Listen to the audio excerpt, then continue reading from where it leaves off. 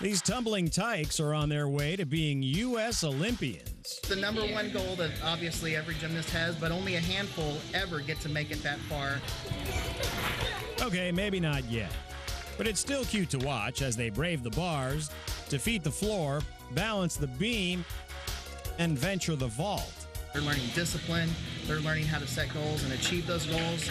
They are trying to reach success on all different kinds of levels. The Iron Cross Mini Olympics in Richmond is for young gymnasts. We want to take those kids and we want to put them in a competition where they get to feel success and do a performance and show off what they've learned to their families, to their friends. And their adoring fans have plenty of oohs and ahs to give. It makes me feel special because my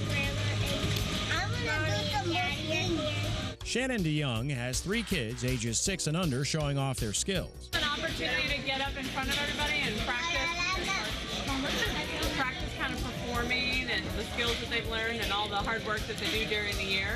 Oh, who are you kidding, Mom? We all know you just needed a break from your kids once a week.